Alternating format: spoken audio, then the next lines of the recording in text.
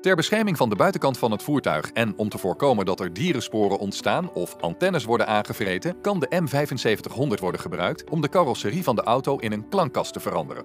Het ultrageluid wordt dan trilling rechtstreeks op het plaatmetaal overgebracht en straalt uit naar binnen en naar buiten in de directe omgeving.